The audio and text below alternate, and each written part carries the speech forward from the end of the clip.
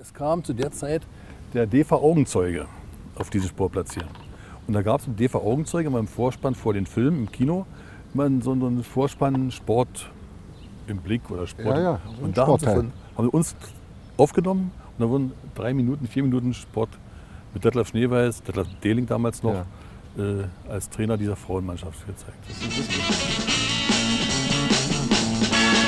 Noch ist es Training, aber bald wird es sicher auch um Punkte gehen. Einheit Treptow hat eine Damenfußballmannschaft aufgestellt. Mannschaft, naja, da werden wir uns was ausdenken müssen.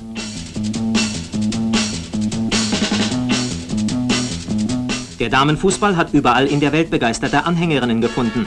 Und Anhänger natürlich. Denn der Trainer ist vorläufig noch ein Mann. Vorläufig. Es muss nicht so bleiben. Schließlich braucht ein Damenbein nicht schwächer zu sein als ein Männerbein.